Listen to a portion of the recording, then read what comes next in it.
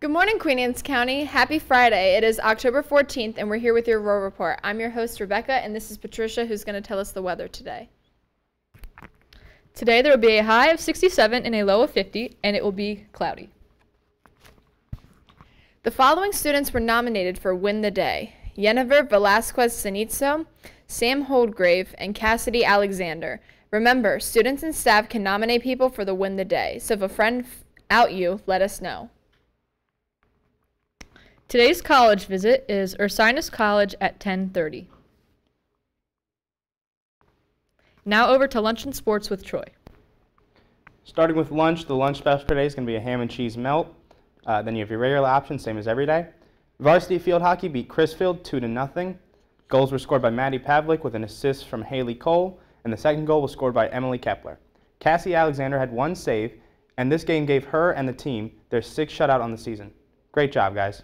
For football, we play Stephen Decatur at home today. Back over to the desk for more announcements. Did you know Queen Anne's County High School has a math honor society? 9th through 12th grade students are eligible for as long as they have a 3.0 GPA or higher, have taken at least Algebra 1, Geometry, and Algebra 2, and have a 3.0 or higher math GPA. Please reach out to Ms. Coppage for an application or more information.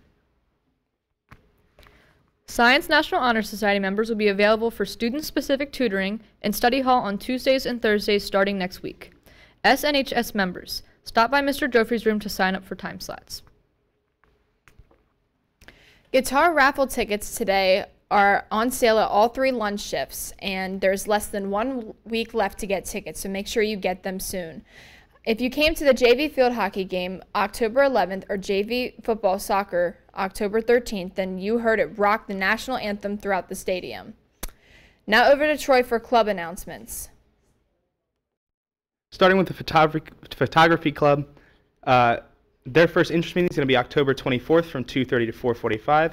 If you love to take photos, want to learn how to take photos, or if you would like to improve your photographic skills and knowledge, the Photography Club is a great place for you to learn and share your passion for photography. We hope to see you on October 24th from 2 to 4:40 2:30 to 4:45 in Portable 3 with Miss Mrs. Hawkins and Miss Hines hosting your advisors. The Dungeon and Dragon Club will also have its second or its next meeting on Monday, the meeting will be begin at 2:30 in Mr. Fulson's room 118. Back over to the desk for more announcements. Did you miss last night's interest meeting about the Peru trip? No worries, see Ms. Beringer in room 208 for more information. Prices will be going up in November, so if you want to come along, act soon.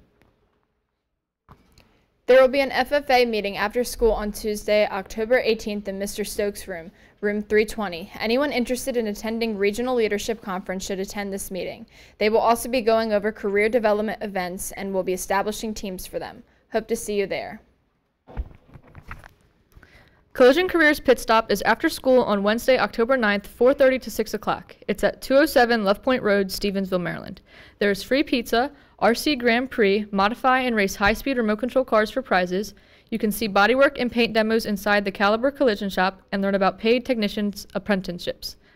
Grand prize drawing is at 5:45 p.m. and you can win a Traxxas remote control car and you must be present to win. Registration is free but limited. It is our lovely tech assistant, Abby Altamirano's birthday, so make sure if you see her, you say happy birthday. All right, and that is all for Roar Report today. Um, have a great weekend.